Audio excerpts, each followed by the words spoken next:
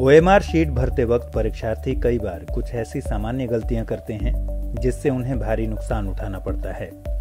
इस वीडियो में हम आपको बताएँगे कि ओएमआर शीट कैसे भरें और किन बातों का ख्याल रखें। परीक्षा भवन में आपको मिलने वाली ओएमआर शीट कुछ इस तरह की होती है। इसमें अलग अलग कॉलम्स बने होते हैं, जिन्हें आपको भरना होता है। पहला कॉलम है नाम का। इसे भरने के लिए ऊपर कुछ बॉक्स बने हुए हैं। सबसे पहले आप बाईं तरफ़ से अंग्रेज़ी के ब्लॉक लेटर्स यानी कैपिटल लेटर्स में अपने नाम का एक एक अक्षर भरना शुरू कीजिए। जैसे, यदि आपका नाम पीयूष राज है तो बाईं तरफ़ से पहले बॉक्स में लिखें पी दूसरे में आई तीसरे में वाई चौथे में यू पाँचवें में एस और छठे बॉक्स में लिखें एच इसके बाद एक बॉक्स छोड़कर आठवें बॉक्स में आर लिखें, नवे में ए और दसवें बॉक्स में जे लिखें। अब प्रत्येक बॉक्स के नीचे 26 गोले बने हुए हैं। इसमें ऊपर से नीचे की तरफ़ ए से लेकर जेड तक लेटर्स दिए गए हैं। प्रत्येक बॉक्स में जो लेटर आपने लिखा है उसके नीचे उसी लेटर वाले गोले को काले बॉल पेन से रंगिए। ध्यान रहे कि आप गोले के बाहर न जाएँ, गोले को भरते वक्त न तो इसे बहुत हल्का भरें और न ही इसे बहुत ज़्यादा गहरा रंगे। नाम के कॉलम के दाहिनी तरफ़ ठीक बगल में रोल नंबर का कॉलम है। मान लीजिए यदि आपका रोल नंबर 002784 है तो अपने रोल नंबर के अंतिम अंक से ओएमआर शीट में दिए गए अंतिम बॉक्स यानी दाहिनी तरफ़ से ओएमआर शीट भरना शुरू कीजिए। जैसे, इस ओएमआर शीट में रोल नंबर के लिए छह बॉक्स दिए गए हैं। अंतिम, यानी छठे बॉक्स में भरिए चार, पाँचवें में भरिए आठ, और बाई तरफ़ खिसकते हुए अपना पूरा रोल नंबर इसी तरह भरिए। अब प्रत्येक बॉक्स के नीचे, ऊपर से नीचे की तरफ़, एक से लेकर नौ तक और आखिर में शून्य लिखा हुआ गोला दिया गया है। आपने जिस बॉक्स में जो अंक लिखा है, उसके नीचे सावधानी से उसी अंक वाले गोले को काले बॉल पेन से रंगे। रोल नंबर वाले कॉलम के ठीक बगल में सेंटर कोड का कॉलम है।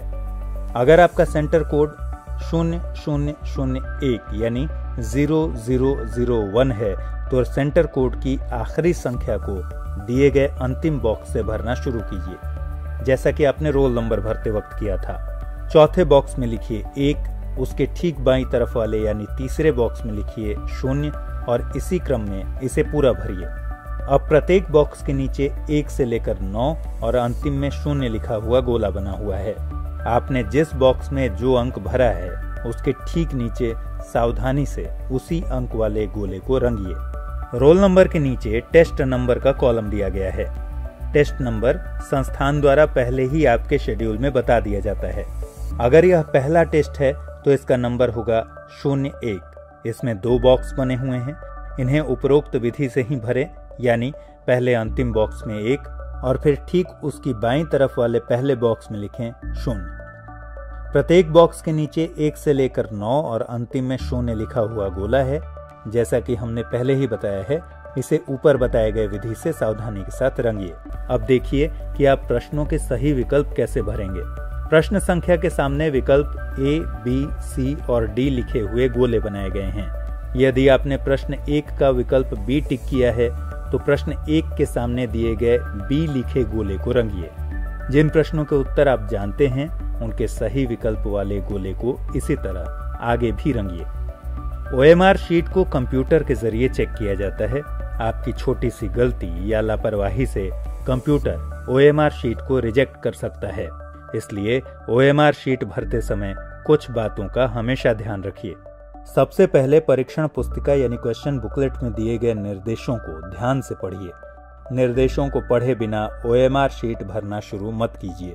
निर्देश में जिस तरह के पेन का प्रयोग बताया गया हो, वही प्रयोग कीजिए।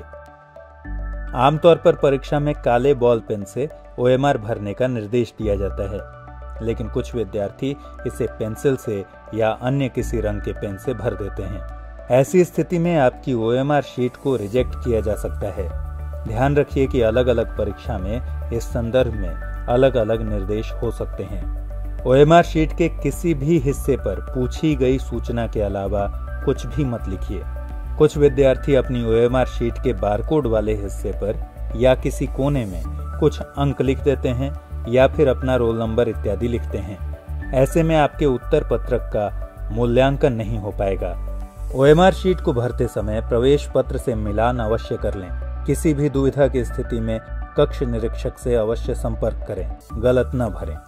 ओएमआर